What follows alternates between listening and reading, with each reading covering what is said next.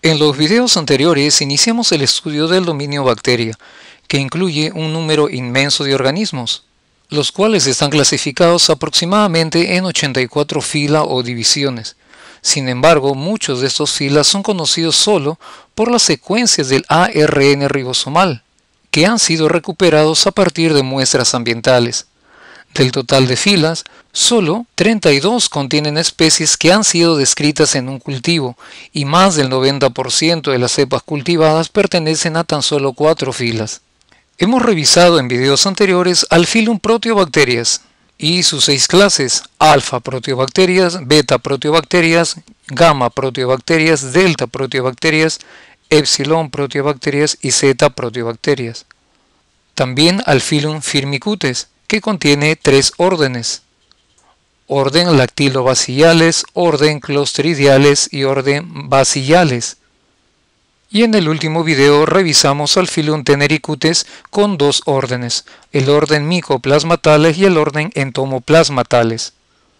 Igualmente en los videos anteriores hemos indicado que esta clasificación se ha logrado gracias al análisis de la secuencia de los genes que codifican a la subunidad menor del ARN ribosomal, propuesto en la década de 1970 por el microbiólogo norteamericano Carl quien demostró de esta manera que se podría evidenciar las relaciones evolutivas entre los seres vivos. Esto permitió tener una herramienta para la clasificación evolutiva de todos los organismos. Desde entonces se han analizado más de 2 millones de secuencias de ARN ribosomal y se han caracterizado una diversidad inmensa de microorganismos. El análisis de secuencia de genes ha revolucionado cada aspecto de la biología bacteriana, aumentando el conocimiento de la genética, fisiología y desarrollo evolutivo de las bacterias. Estos datos han permitido elaborar árboles filogenéticos mucho más completos y a su vez muy complejos, como el de la imagen que ha sido tomada del libro de Brock, Biología de los microorganismos. Como pueden apreciar, solo hemos desarrollado una pequeña parte en los videos anteriores. Y en el video actual desarrollaremos a ese grupo, el Phylum Actinobacteria, un grupo de bacterias que forman parte de las bacterias gram positivas, y que contiene a tres órdenes, el orden actinomicetales, el orden bifidobacteriales y el orden coriobacteriales. Y desarrollaremos específicamente lo relacionado a las bacterias de la familia Corinebacteriaceae del orden actinomicetales. El filum Actinobacteria constituye uno de los más grandes dentro del dominio bacterias y representa a las bacterias gran positivas con un alto contenido de gonina más citosina en su ADN y consta de alrededor de 130 géneros. Incluye a microorganismos con un amplio espectro de morfologías que pueden ir desde cocoides como el género Micrococcus, cocobacilos como el Lactobacter, hasta formas de hifa fragmentadas como el caso de Nocardia o micelios ramificados como Streptomyces. De igual manera, presentan una amplia variedad en sus propiedades fisiológicas y metabólicas, como la producción de enzimas extracelulares y la formación de una amplia variedad de metabolitos secundarios. Muchos de estos metabolitos secundarios son antibióticos, una característica que ha convertido a especies del género Streptomyces en el principal organismo productor de antibióticos que es explotado por la industria farmacéutica. Además, los miembros de filum tienen diferentes estilos de vida. Por ejemplo, pueden ser patógenos, como es el caso de los géneros Corinebacterium, Mycobacterium, Nocardia, Troferima y Propionibacterium. Pueden ser habitantes del suelo, como el caso del género Streptomyces, o comensales de plantas, como Leifsonia. Además se encuentran bacterias que actúan como simbiontes fijadores de nitrógeno, como el caso de Franquia, o bacterias comensales inocuas del tracto gastrointestinal, como es el caso de Bifidobacterium. Los miembros de este filum presentan características de desarrollo inusuales, tales como la formación de micelios aéreos esporulados, como algunas especies del género Streptomyces, o pueden presentar un estado de latencia no replicativo para evitar la respuesta inmunitaria del huésped como sucede con la especie Mycobacterium tuberculosis. Principalmente son aeróbicas y están distribuidas ampliamente en ecosistemas terrestres y acuáticos, incluyendo marinos, especialmente en suelos, donde juegan un rol importante en el reciclaje de biomateriales refractarios, es decir, difíciles de degradar, por descomposición y formación de humus. Además, muchas bifidobacterias son usadas como ingredientes activos en una variedad de los denominados alimentos funcionales, debido a sus propiedades promotoras de la salud o probióticas, tal como la protección contra patógenos.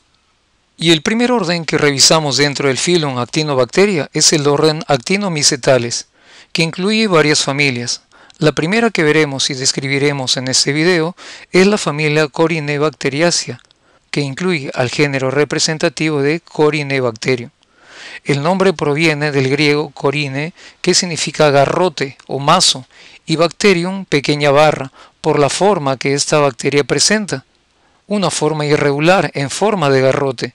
Actualmente existen más de 100 especies reconocidas, algunas nuevas aisladas de muestras clínicas de animales salvajes, de suelos salinos y en la superficie de algunos tipos de quesos. La pared celular contiene arabinosa, además galactosa y ácido mesodiamino pimélico, y la mayoría de las especies ácidos micólicos de cadenas cortas. Y este género incluye bacterias aeróbicas o anaeróbicas facultativas, además de inmóviles y catalasa positiva. Se encuentran colonizando la piel, el aparato respiratorio superior, el aparato digestivo y el génito urinario. Todas pueden comportarse como patógenos oportunistas, pero unas pocas están asociadas con mayor frecuencia a enfermedades. Por ejemplo, la especie Corinebacterium diphtheri, causante de la difteria y que es la especie que empezamos a describir. El Corinebacterium diphtheri, la primera especie que describimos dentro de esta familia, recibe su nombre debido a la presencia de cierta estructura que se forma durante la enfermedad. Diphtheri significa cuero o piel curtida. Y es que hay una membrana que se va a formar en la faringe. Ese microorganismo es un bacilo pleomorfo gran positivo que se tiñe de manera irregular la difteria es una enfermedad causada por una exotoxina que tiene la capacidad de inhibir la síntesis de proteína y es caracterizada por el crecimiento de la bacteria en la faringe con la formación de una pseudomembrana. El Corinebacterium diphtheri se subdivide en cuatro biotipos debido a la morfología de sus colonias y a sus propiedades bioquímicas. Y esos cuatro biotipos son el biotipo Belfanti, el biotipo Gravis, el biotipo Intermedius y el biotipo Mitis. Y la mayor parte de las enfermedades se debe al biotipo Mitis. La bacteria produce una exotoxina denominada toxina diftérica, que es el principal factor de virulencia. Es una bacteria de distribución universal que se mantiene por los portadores asintomáticos y además por los pacientes infectados. Se considera además como único reservorio al ser humano, que porta el microorganismo en la orofaringe y en la piel. El Corinebacterium diphtheri se transmite de persona a persona por la exposición a las gotas respiratorias o por el contacto cutáneo. Y existen dos formas de la enfermedad, la forma respiratoria y la forma cutánea. En el caso de la difteria respiratoria, es una enfermedad que tiene un comienzo brusco, con la presencia de faringitis exudativa, irritación de la garganta, fiebre ligera y malestar. El exudado se transforma en una pseudomembrana sobre la faringe y la forma cutánea, la difteria cutánea, que se adquiere por contacto con la piel con otros infectados.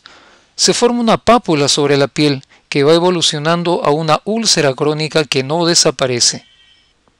Pero existen otras especies dentro del género Corinebacterium. Tenemos a la especie Corinebacterium heikeum, anteriormente Corinebacterium del grupo JK que fue aislada de la sangre y estuvo asociada a endocarditis bacteriana después de una cirugía cardíaca. Es parte de la flora normal de la piel, especialmente en las áreas axilar, inguinal y rectal. Se considera un patógeno oportunista en pacientes inmunosuprimidos, sobre todo en aquellos que tienen alteraciones hematológicas o catéteres intravasculares. Hay estadísticas que indican que las personas sanas no son portadoras de esta bacteria. Sin embargo, en el 40% aproximadamente de personas hospitalizadas puede haber colonización de la piel por esta bacteria. Es bastante resistente a los antibióticos y además puede ingresar a través de un catéter intravenoso y producir enfermedades en pacientes inmunodeprimidos. Otra especie importante es el Corynebacterium urialiticum, uria, la sustancia que producimos, y liticum, lisis, destrucción, capaz de lisar la uria. Es un patógeno importante del aparato urinario, Además es un gran productor de la enzima uriasa, la cual es capaz de alcalinizar la orina e inducir a la producción de cálculos renales de estrubita, que es un fosfato de amonio y de magnesio. Los factores de riesgo son la inmunodepresión, trastornos del aparato génito urinario, antecedentes de intervención urológica. Existen otras especies de Corynebacterium productoras de uriasa, pero esta especie es la más frecuente. Otra especie de Corynebacterium es el Corynebacterium amicolatum. El prefijo A significa que carece y micolatum hace referencia a los ácidos micólicos, debido a que esa especie no presenta los ácidos micólicos en su pared celular. Se va a encontrar en la piel, no en la bucofaringe. Es resistente a muchos antibióticos. Además, se considera un patógeno oportunista que produce infecciones por cuerpos extraños, infecciones de heridas, de vías respiratorias bajas y del tracto urinario. Como podemos apreciar en esta tabla, existen otras especies de Corynebacterium asociadas a infecciones oportunistas y están presentes tanto en las superficies cutáneas y mucosas, el caso de Corynebacterium pseudotuberculosis y Corynebacterium ulcerans están íntimamente relacionadas a Corynebacterium difteria y pueden portar el gen de la exotoxina de la difteria. Aunque rara vez se ha observado infecciones humanas por Corynebacterium pseudotuberculosis y se ha descrito que Corynebacterium ulcerans es la causa más común de la difteria. Y hasta aquí la descripción de la familia Corynebacteriaceae y sus representantes más conocidos. En los siguientes videos haremos la descripción de las otras familias del orden Actinomycetales.